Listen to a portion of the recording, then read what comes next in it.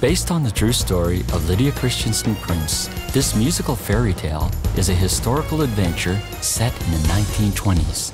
It's about one woman's journey, a schoolteacher who leaves the comfortable surroundings of her home and family in Denmark for the Holy Land, Jerusalem.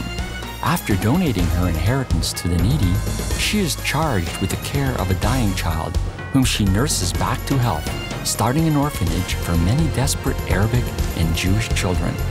The story is about discovery, values, revelation, tolerance, understanding, unity, caring, sharing, and opening your heart to those in need and finding happiness and joy when and where you least expect it. Gaining strength from above and living happily ever after, making a mark in history and making our world a better place to live. A wonderful story set to delight both the young and the young at heart. Take your family on an adventure.